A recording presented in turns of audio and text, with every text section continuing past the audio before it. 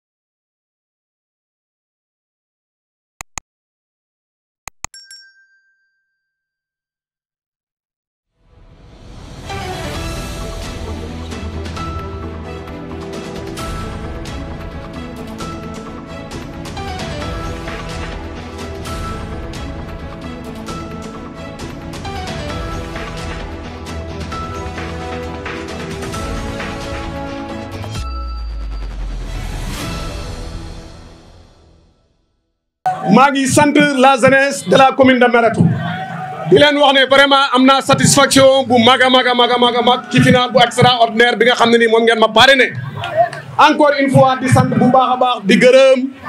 média bi journaliste yi Koupentoum TV Agna Camara bi nga xam ne moom moo jugee ba Tambacounda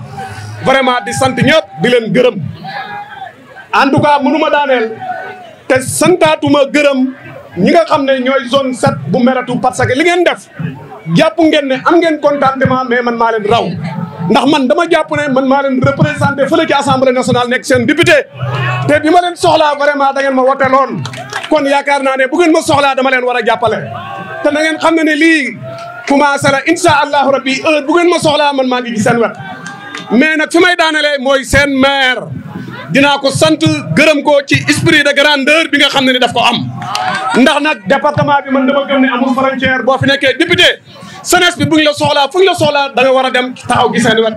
te nag bi ngeen ma joxee seen parrainage ma woo ko téléphone wax ju rafet la wax ak man loolu doyul mu déplacé délégation muy le deuxième adjoint au maire mu ñëw toog teeru ñu teral ñu jël ay kàddu yu rafet wax dëgg yàlla wax ak ñun kon mënuñoo def leneen lu dul sant Elhadj Ba gërëm ko bu baax a baax di ko ñaanal yàlla lépp loo xam ne soobu na ci yàlla ko ci yàlla defal ndam loolu daal vraiment mooy li nga xam ne ni bëggoon naa ko wax avec la jeunesse de la commune de Mérétou di sant ñëpp di gërëm ñëpp di leen wax ne allahumma salli ala sayyidina muhammadin wa sallim jërë ngeen jëf